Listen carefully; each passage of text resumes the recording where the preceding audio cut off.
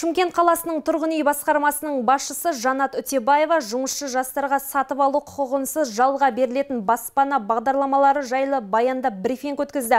2023 жылы 888 арендалық баспанамен қамтылу көзделген.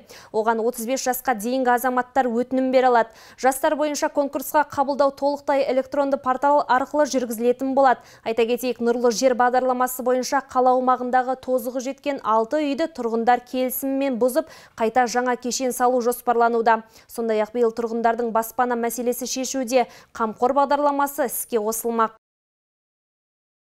Шымкенттік мамандардың тұрғын үй мәселесі шешуге көмектеседі.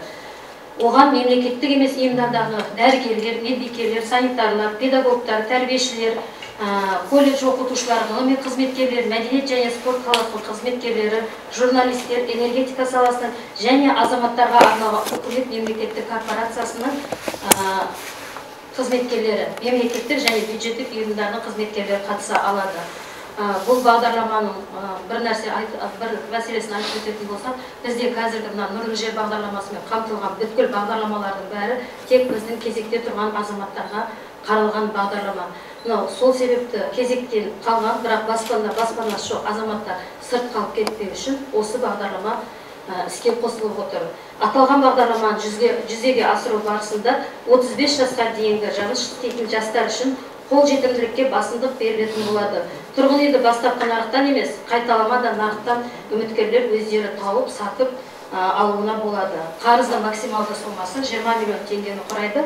Кредит бойынша алғашқы жарна 10%, жылдық мөлшерлеме 5%. Сонымен қатар қамқор бағдарламасы аясында несиелеу үшін алғашқы транш 3 миллиард теңгені құрайды.